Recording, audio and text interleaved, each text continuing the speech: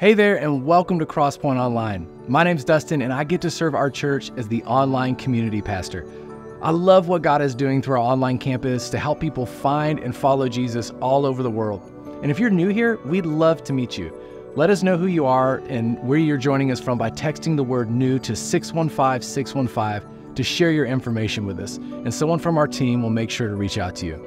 We can answer questions about Crosspoint and help you figure out how you can take a next step and even if you've been joining us for a long time but you've never reached out, go ahead and text us today, anyways. We would love to hear from you and get to know you. And you know, another really cool way you can connect with Crosspoint and other folks who are a part of our online campus is by putting yourself on the map.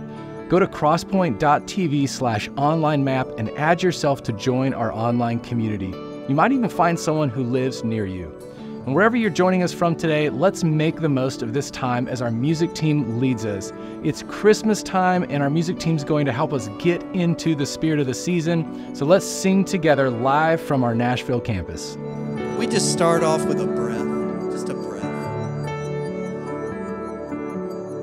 If you've lived on this earth for any amount of time, you've seen darkness, you've seen evil, you've seen things that make you afraid. And that's why this time of year in particular is so special because we get to look to Jesus.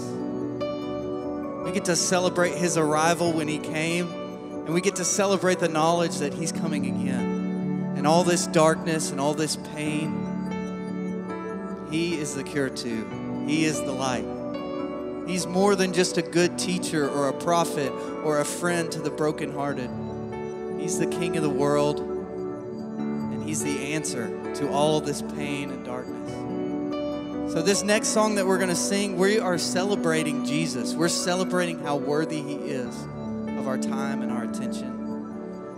And it's kind of a different format for a song that we've done before. It's a liturgy. And that means I'm going to sing something and then you're going to sing something back. What's really cool about this song is it starts with questions, like we all have in times like this. And we get to answer with the knowledge that we know that Jesus has overcome. So this may feel new to you, but we just want you to try.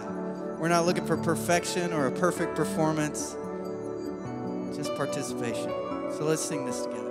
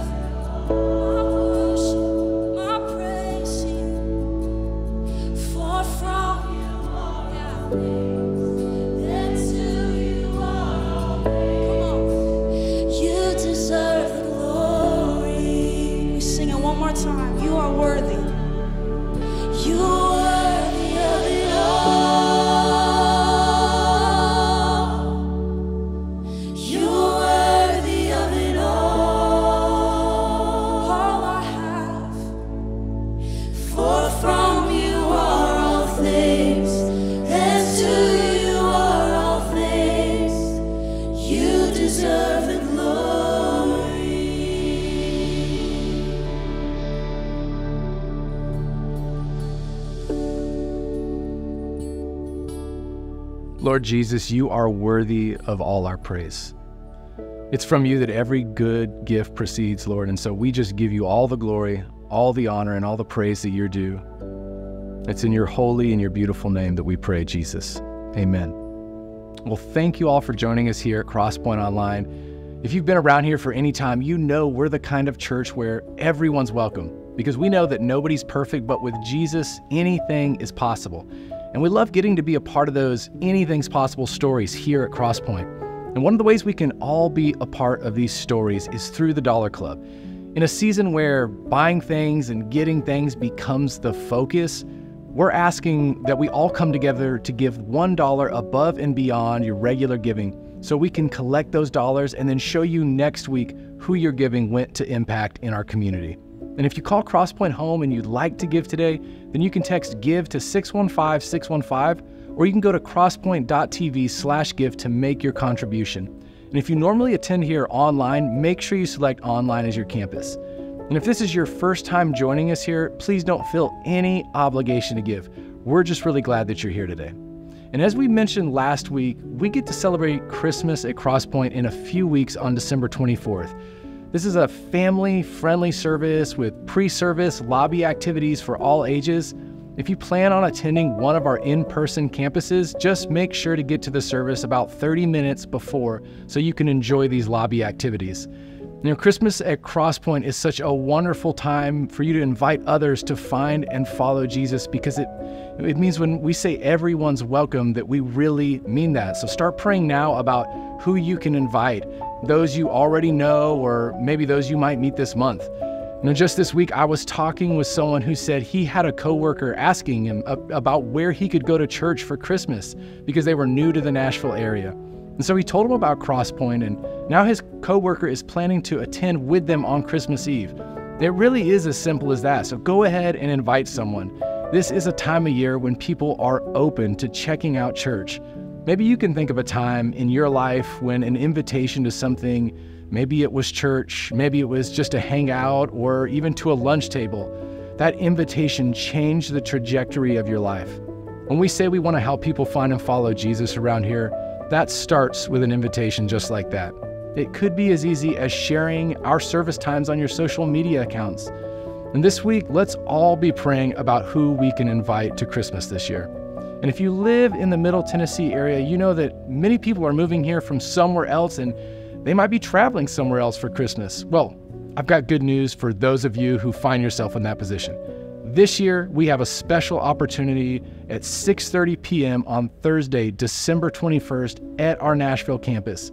If you'll be out of town on December 24th, you can join us for that time. And if you have any questions about Christmas at Crosspoint, just go to crosspoint.tv slash Christmas to find all the details, and you can still find all the resources we've created for you to dig in deeper this Christmas season.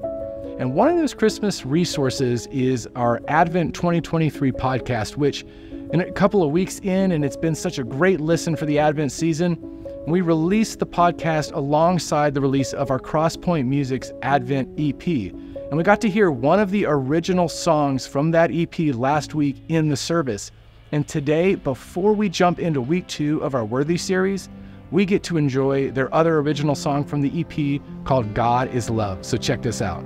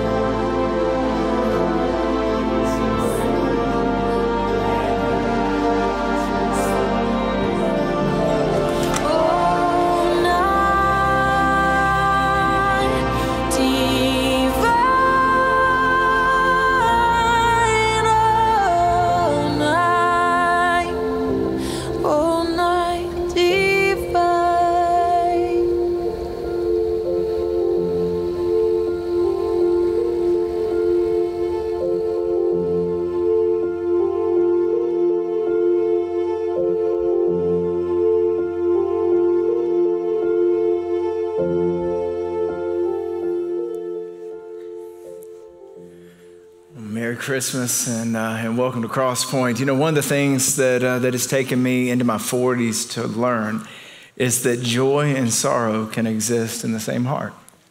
That we can experience joy of, of Christ and of being together, and at the same time, um, we can experience sadness and, um, and sorrow, and we can carry heaviness. And we can carry that in the same heart. And, um, and so while we rejoice and we sing about the realities of God's love for us and God's love through us, at the same time, our hearts are heavy over what um, families and people in Middle Tennessee have experienced um, over the last 24 hours with the storms, especially in Clarksville and in Madison and Hendersonville.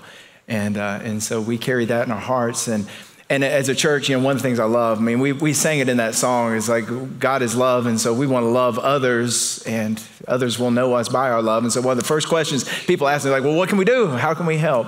And, uh, and at Crosspoint, we talk about um, pray, give, go. And, uh, and so we start with prayer and then give and then, and then we go together. And, and so right now, our teams, we're assessing the, the damage and the needs and the opportunities. And, and want to encourage you to stay with us online. You can follow on social media or go to uh, crosspoint.tv slash local. And as opportunities are available, we're going to share those with you of how we can serve together. But uh, I thought we would take a moment um, just together as a church and, uh, and pray together. Prayer is not the only thing we do, but it's the first thing we do. And so, uh, so let's, let's pray together. I'm just encouraged just to bow your, your heads before God and uh, just to eliminate distraction. And I want you to know your prayers matter. So I want to invite you right now just to, we pray, and I'll just guide you through a prayer.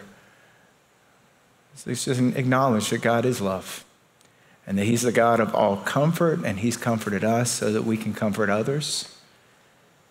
And so right now, let's just let's lift up those families. You just pray and you just whisper your prayer to God. Pray for those families who have experienced loss, both in loved ones and in possessions. Those who have lost their homes. Pray for God's comfort, for his peace, for the hope of Jesus. You put hope in their hearts.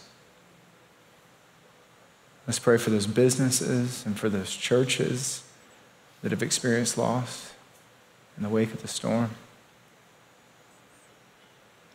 Pray that God would give them the strength and the wisdom and the grace. And now let's pray for the church as followers of Jesus. That an unbelieving world would know us by our love. That, Father, you would give us opportunities in our conversations and in our actions to reveal that you are love and that you are good and that you can be trusted, that even in the storms of life, we can know your peace and we can carry your peace. We can offer that peace to others. So, Jesus, would you help us do that as your church? In Jesus' name we pray. Amen. Amen. And so we pray as a church. In reality, is nobody plans on a, uh, on, on a tornado, and nobody plans on a storm. Nobody plans for the storms of life. In fact, sometimes interruptions happen in life because we live in a broken, fallen world filled with uncertainty, and sometimes interruptions happen in life that are, that are divine interruptions. Sometimes God um, interrupts, interrupts our lives. And so today, I want us to have a conversation um, as we're talking about worthy of, of a God who is worthy to, to interrupt our lives. And how do we respond to divine interruptions. And so I want us to learn from a long snapper and from a couple of teenagers in Middle Tennessee. Okay. And, uh, and so um, we have a friend, Matt Overton, who, uh, Matt and his wife, Bree, they have a podcast, Stay Ready, but they didn't make their career with a podcast. Uh, they made their career, he made his career as a uh, long snapper for, uh, in, the, in the NFL. And, um, and if you're not familiar with what a long snapper does, they snap the ball a long way. And so that's what, um, that's what they do. I'm glad I can help you. And, uh, and so um, Matt was a long snapper, and he, in his career, he played for quite a few teams, played for the Colts, the Jags, the Chargers, the Titans, the Cowboys. And his mantra is stay ready. Like that's his that's his mantra is, is stay ready because as a long snapper you never know when you're going to be called in the game and you never know when you're going to be called up to a to a team. In, in fact, um, a couple years ago he was um, he was cut from the um, from the Titans and so I thought I was like I will, I'll reach out as a friend I'll reach out and try you know encourage I want to encourage him and when I sat down with him over lunch he encouraged me. So I just want to check in on him see how he's doing. Here's what he said. He said, "Kevin, I'm good." He said, But my identity is not in what I do, it's in Christ and who I am in Him. He said, That's the same no matter what team I play for or if I play at all. He said, My worth comes from Jesus. Like, that'll preach. I think it just did, right? I mean, that, and, and so when he said that, he said, Stay ready. Stay ready is my, my mantra. And what did he do after he got cut? Well, he went back to the gym he started leading clinics for, um, for high school players, long snappers, for college players to be able to help them. And he kept training. And eventually he got a call from the, from the Chargers, for, they were on a playoff run, to, uh, to come and help them. I thought, man, what a, what a phrase, stay ready. That is the purpose of Advent. The purpose of Advent is to help us stay ready. To stay ready for what? For Christ's return. In the early church, the early church practiced Advent because they knew that just like Jesus came the first time, that he's coming again. And so Advent is that preparation, it's that waiting time, it's the opportunity for us to stay ready for Christ's return.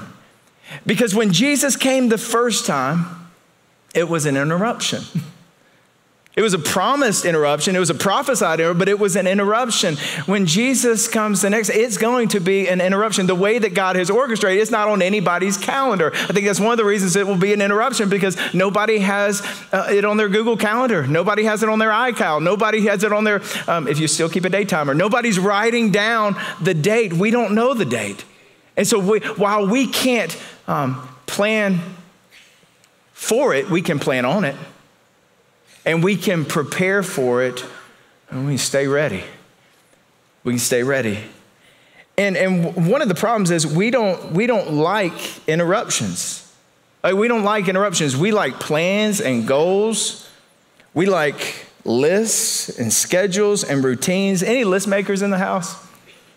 We know who you are because you're not taking notes. You're writing down what you need for groceries this week. Like you already, that's what you do.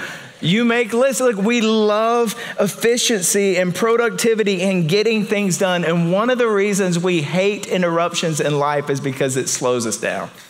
It slows down our plans and our agenda. It slows down what we have to do.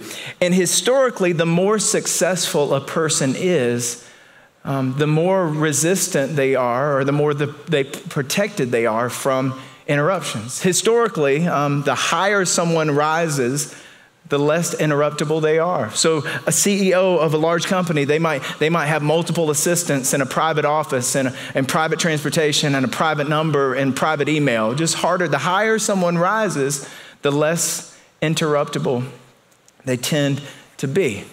But now with technology and with the way things are, anybody can be uninterruptible.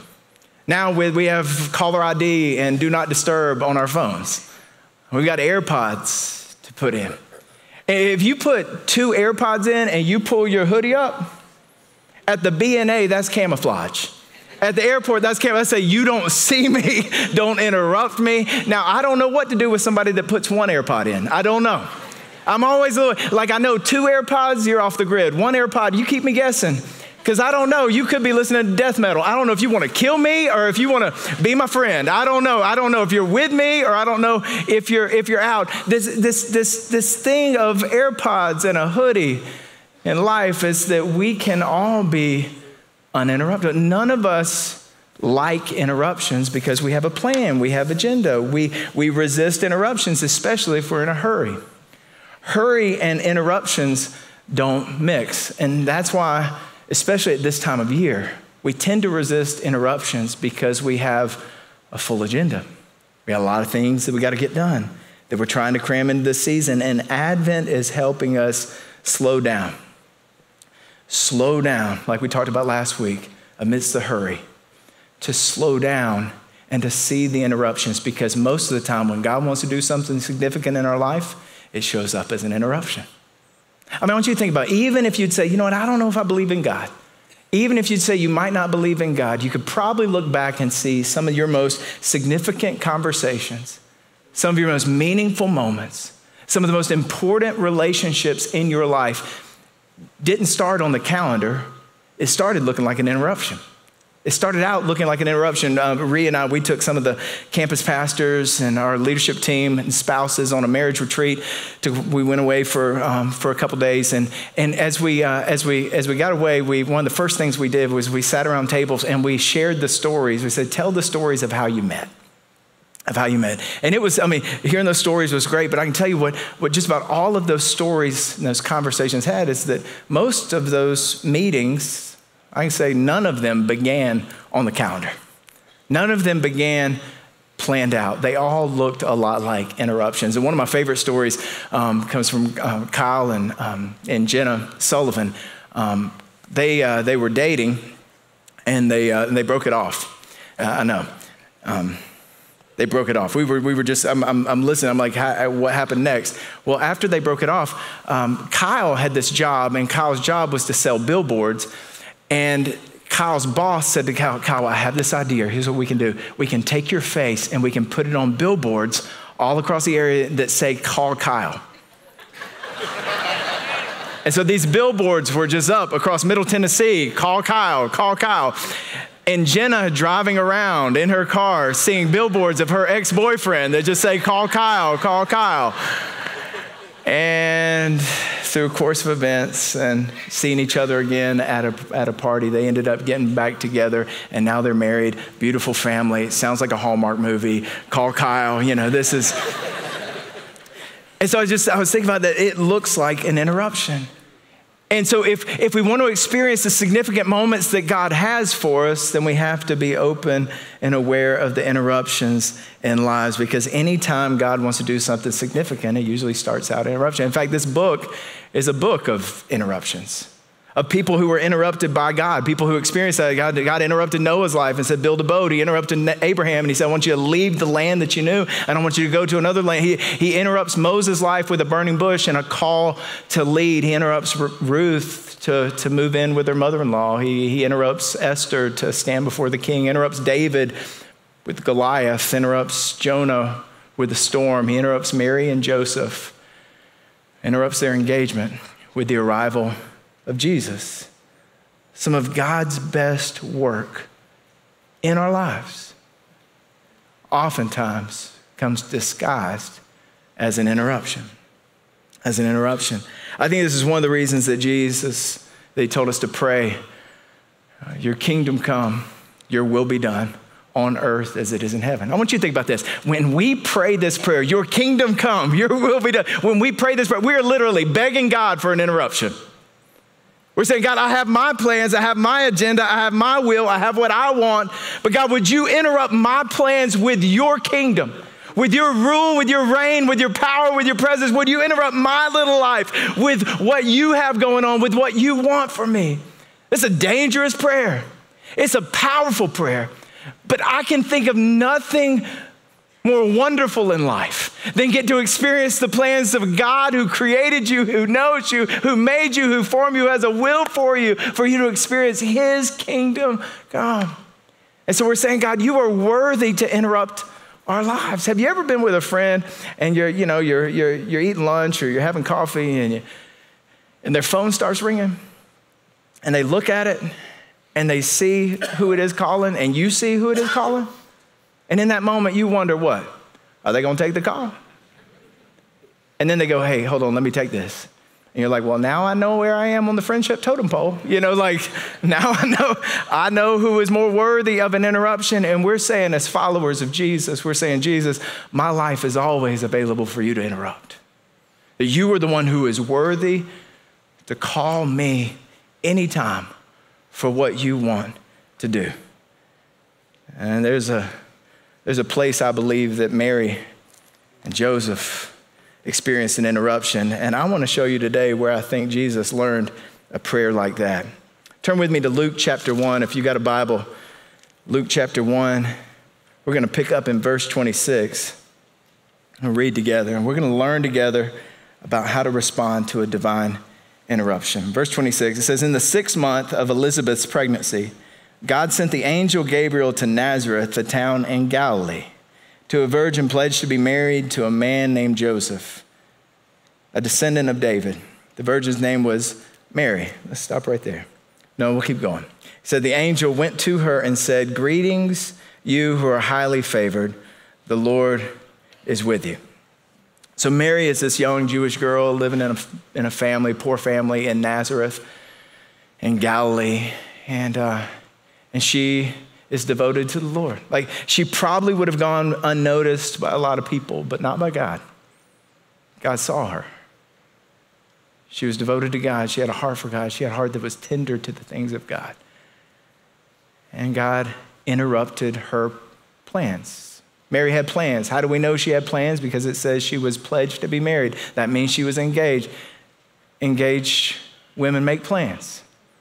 That's all they do. Like they just make they make plans. She had her Pinterest board. She had her bridal magazine. She was making plans for a wedding. A day that she had dreamed of since she was just a little girl. She's making plans. Verse 29. Mary was greatly troubled at his words and wondered what kind of greeting this might be. That word troubled means she was confused, she's perplexed, she's afraid. Why is she afraid? Because she's talking with an angel. she's talking with an angel. She's afraid. She's and, and what does the angel say?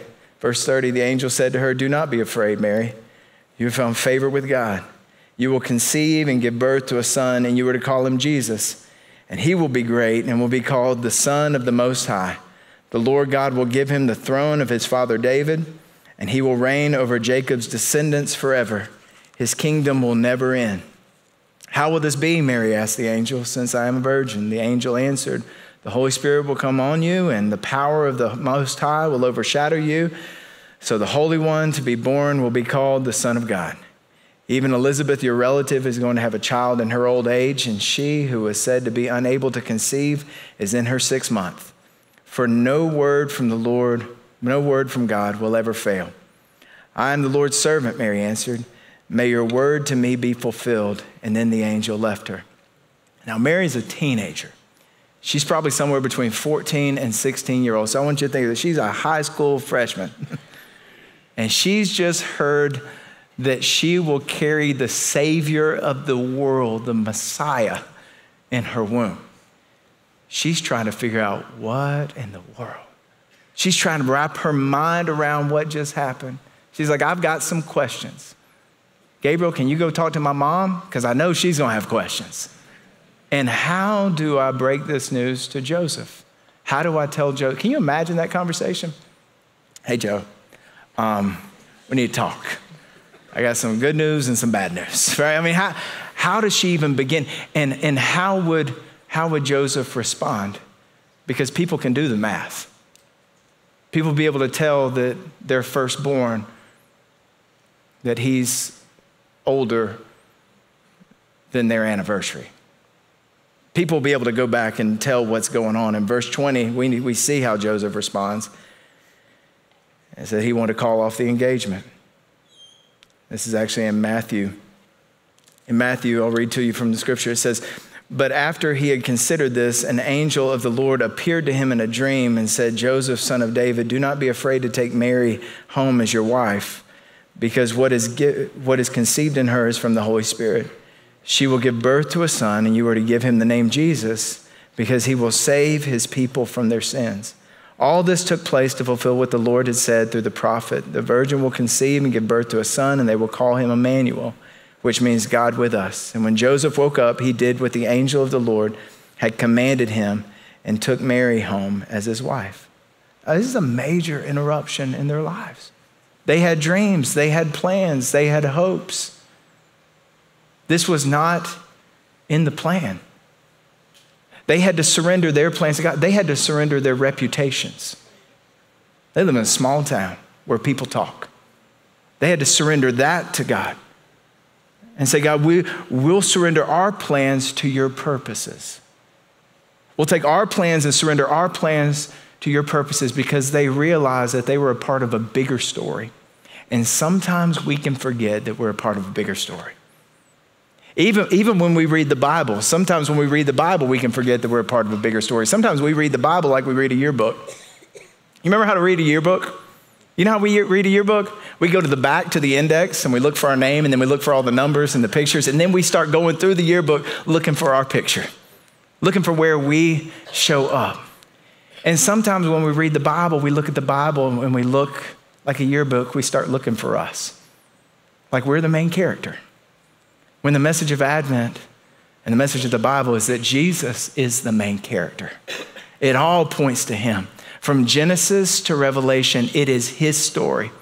Its history is his story. It's the story of Jesus. It's the story of God's plan for redemption for mankind. It's the story of how God took a broken, sinful people and reconciled and restored a relationship with God. God has given us hope through Jesus Christ and through Jesus living a perfect life, a life without sin, laid his life down as the perfect sacrifice for us so that we could be reconciled with a holy God, so that we could experience the presence of God, the peace of God, the hope of Christ for eternity, so that we could begin to walk with God. Now, this is the gospel. This is good news.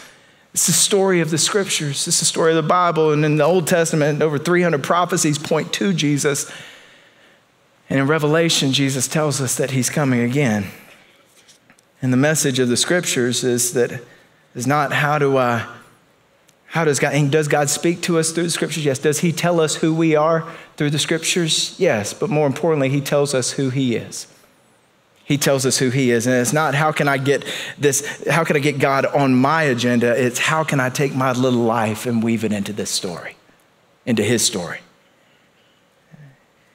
And the Bible tells us who he is and who we are in light of that. And Mary knew the word. Mary knew the word. In Luke chapter 1, um, verses 46 through 55, there's this beautiful song that she wrote. Uh, the Magnificat. It's this beautiful nine verse song that she wrote at age 14. I mean, somebody needs to give her a publishing deal on Music Row. Somebody needs to sign her up as a songwriter because it's, it's, it's remarkable what she, what she writes. Um, scholars have gone through and they've found over 35 references to scriptures in the Old Testament in these nine verses in Luke 1 in this song that she wrote.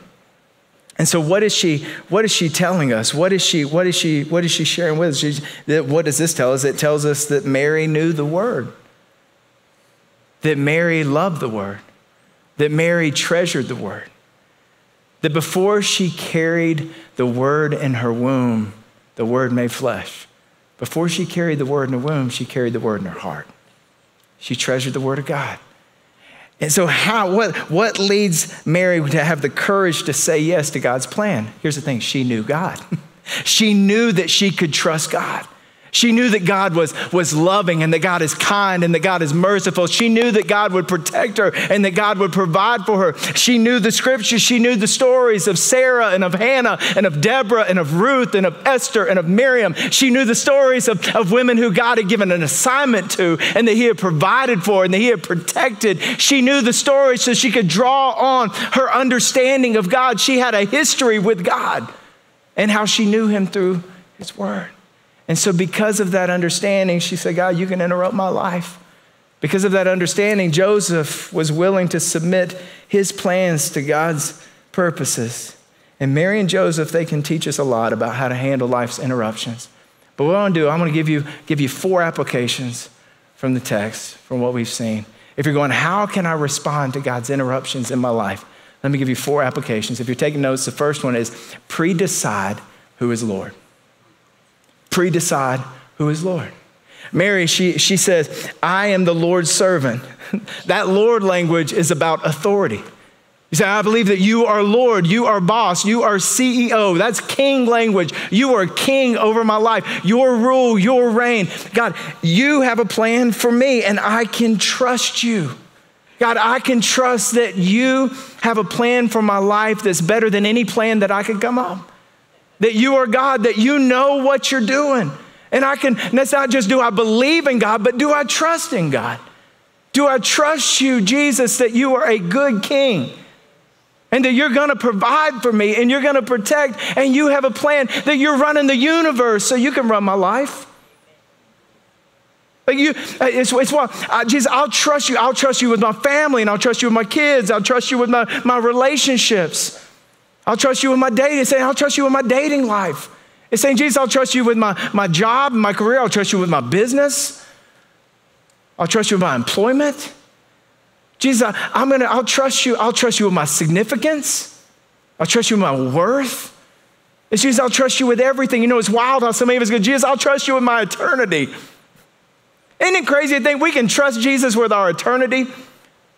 With our eternity, but we withhold other things from him? Say, Jesus, you are Lord. And this is a pre-decision that manages other decisions. This is why baptism is so powerful. Because when somebody's baptized, we ask them two questions. Do you trust Jesus as your Lord and Savior? And do you commit to follow him all the rest of your life? Baptism is so powerful in that moment. It is a pre-decision. It's saying, Jesus, you are Lord over my life. And when we baptize people, um, people don't tend to like leave a foot out of the water or a hand out of water. Say, Jesus, all of me I'm giving to you. Jesus, you are Lord over my life. And it's the pre-decision, and every day starts with a pre-decision. Who is Lord? Number two, the first pre-decide who is Lord. Number two, make plans. Make plans. Proverbs 19, 21, a couple scriptures, it says, Many are the plans in a man's heart. It's the Lord's purpose that prevails. Proverbs 16:3 says, Commit your work to the Lord and your plans will be established. Proverbs 15:22 says, Without counsel, plans fail, but with many advisors, they succeed. See, the answer is not to, to not make plans. I know there's a double negative, hang with me is that the answer is not to withhold from making plans. Biblically, we're instructed to, to make plans. So I want to encourage you seek the Lord and plan. Don't just make plans and ask God to bless your plans, but seek the Lord and ask God. Make good plans, wise plans, spirit led, scripture fed, God honoring, counsel seeking, faith filled plans. Make those plans, but then hold them just like this. Because I can tell you this when you hold your plans too tightly, it hurts when God pries your fingers open. But if we hold our hands like this, our hands are open and say, God, here's my plans. Your kingdom come. 2020 taught us that just because we make plans doesn't mean they're going to happen. When we made, man, we had good plans for 2020. January, February. I tell you what we didn't plan on is a tornado. And we didn't plan on a pandemic. And we had good plans. We take our plans, we hold them up and say, God, I give, offer my plans up to you like this. And so we make plans, but then we pray, Your kingdom come. One of the reasons I think Jesus taught us to pray is um, Your kingdom come, pray like this, is because of the forerunner principle. Y'all know the forerunner principle? You know the forerunner principle? I'd be worried if you did because I just made that up. But the forerunner principle is, is this. Um, a while back, uh, Rhea and I, we started talking about talking about forerunners, and we are like, man, maybe, maybe, we get a forerunner. And so we were, we started looking the for, you know, the car. We started uh, the automobile, and so we started looking at forerunners. We started, I started researching forerunners. Went test drove a forerunner. Have been talking about forerunners a lot. And uh, and you know what? Ha- we know what you know what happened is I started to see forerunners everywhere I went. Everybody had a forerunner. I was in a stoplight, mall, grocery store, neighborhood. Our neighbors had forerunners. That I did. I started. I started to see forerunners all over the place, and it wasn't that forerunners multiplied. It wasn't that forerunners increased. It was my awareness of forerunners increased. Here's the principle: what you're praying for, you're looking for. What you're looking for, you find. When we start praying that the kingdom would come, we have eyes to see when the kingdom shows up. We have eyes to see when the kingdom arrives. When we're praying for the kingdom to come, his will be done on earth as it is in heaven, we start to see moments and opportunities, which leads us to the fourth application is look and listen for divine interruptions. Look and listen for divine interruptions. I'm not saying that every interruption is from God. Sometimes it's just your ADD. Squirrel, right? I mean, I'm not saying that that every interruption is, is from God. Sometimes it's because we live in a broken, fallen world, and sometimes it's distraction. And distraction is often a, a tool of the enemy. How do you tell the difference between an interruption and a distraction? Let me just give you one of the ways. One of the ways is divine interruptions always lead us toward our calling and our purpose and our values. Distractions always pull us away. There's this great um, conversation that Henri Nouwen talks about in one of his books called Out of Solitude. Henri Nouwen writes about a conversation with a college professor. And, uh, and he, he says this he said, I've always been complaining that my work was constantly interrupted until I slowly discovered that interruptions were my work. That the interruptions were actually the work. I read about this missionary in the Philippines back in the early 1900s. He, uh, he had this thought of like, man, what if I lived every moment with an awareness of the presence of God? I thought, that's a beautiful idea. And so he decided to make a game of it. And uh, he, he wrote this book called A Game of Minutes. And his goal was at the top of every minute to ask the question, Lord, what do you want me to say? What do you want me to do? Lord, what do you want me to say? What do you want me to do? He said, That's how you live an entire day, is that you ask that, those two questions every minute. I thought, I don't know that I can do it every minute, but maybe I can do it every interruption. Maybe with every interruption, I can ask those two questions God, what do you want me to say? Lord, what do you want me to say? Lord, what do you want me to do? When a coworker interrupts you in the hallway, Lord, what do you want me to say? Lord, what do you want me to do? When a homeless person interrupts your night out, Lord, what do you want me to say? What do you want me to do? When a friend calls you and asks for help, Lord, what do you want me to say? What do you want me to do? A student interrupts you grading papers.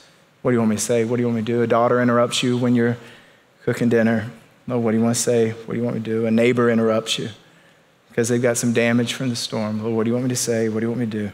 A guy on the flight interrupts you when you're trying to take a nap. When your hoodie's pulled up and you got two AirPods in. Lord, what do you want me to say? What do you want me to do? And most of the time, interruptions in life are about people.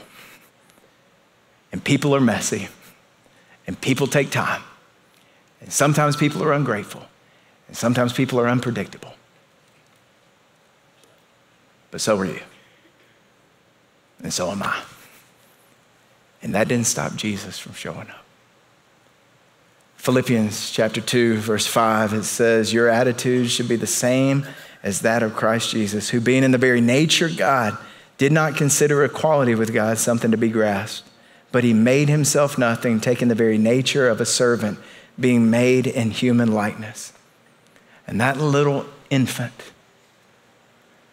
baby that was in Mary's womb, would grow to become the greatest servant that the world has ever known. And Jesus served. He washed feet. God of all creation, he, he washed the disciples' feet. When you read through his life, you see that he's constantly interrupted. It's hard to tell if his ministry was interrupted or if interruptions were his ministry. Over half of the miracles that we see from the life of Jesus started out as an interruption. I wonder how many miracles we miss every single day. Because hurry has no eyes for miracles. Hurry has no eyes for interruption. But we be willing to ask the question. Well, what do you want me to say? What do you want me to do? Jesus said one time, he said, he said, I only say what I hear the Father saying, and I only do what I see the Father doing. Those questions led him to the cross. Part of God's plan for his life would be that he would lay his life down for us. And before the cross, Jesus, in the garden, Jesus prayed the prayer. He said, Not my will, but yours be done. He says, Any way, to let this cup pass from me. Let it pass. But Father, not my will, yours be done. In other words, I'm the Lord's servant. May it be as you have said. Where did he learn to pray like that? Sounds like he learned it from his mama. Mamas, your prayers are powerful. They're shaping the prayer life of the next generation. And for us to take that prayer and to make it our prayer. And maybe today it's for you to open up your hands. Say, Jesus, I give you my plans for your purposes. Maybe it's to, to step back and to say, um, Jesus, would you interrupt my life so I can extend an invitation? So that I can extend an invitation to somebody else for them to experience a, a divine moment, a divine interruption in their life, to experience salvation. And we're preparing for our Christmas services, but asking God, would you prepare our hearts and give us eyes to see those who you long to bring into a relationship with you? Saying, God, would you interrupt us? And then we wanted to have a moment of prayer at the end of services. Maybe you know somebody who their world has been interrupted by the storm last night. Or maybe you are dealing with some PTSD, some storms that you faced, and, uh, and you could just use some prayer today. We, we are here with you, and if you've experienced um, loss because of the storms, we'd love to pray with you. We just want you to know you're not alone, and our prayer teams will be down front at the end of service. But I want to invite us to just open up our hands and our hearts together. So would you, uh, would you join me in that? And maybe as an expression um, with, your, with your body, with your hands, just exemplifying of your desire with your heart. And just invite you just to open up your hands. So, Father, we, we thank you that you are good. And you are always good. And even when things aren't good, you are good. And even when things are broken, you are good. And we thank you that you are always working to redeem and to restore. And so our hands are open. May just even whisper, God, I give you my plans. I give you my agenda my dreams, my hopes, the things that I'm working on. And I pray that your kingdom would come, that your will would be done on earth as it is in heaven. So, God, may we be interruptible this season. God, I pray that as a church, we would be as those who stay ready. Stay ready for your return and stay ready when you want to show up and show up in our lives, and that you would show up in our lives so that you would be glorified, so that we would be made more like you. Your kingdom come, your will be done on earth as it is in heaven. In Jesus' name we pray. Amen. Amen. On your way out, we'll hand you some of those invitations. Let's have our eyes open and be interruptible for what God wants to do this Christmas. Thank you, Pastor Kevin, for that incredible message today. And I hope y'all were encouraged and inspired to dig in a little deeper into your faith this Christmas season. This time of year, it's full of meaning and beauty for the coming of our Savior. And I hope you were reminded of how much God loves you today, that He would enter into this world for you. Thank y'all for joining us. If we can ever pray for you, please reach out. You can go to crosspoint.tv slash prayer to submit your request and our online prayer team will be available to pray with you. We love getting to pray over you. I hope you all have an amazing week, and we'll see you next time here at Crosspoint Online.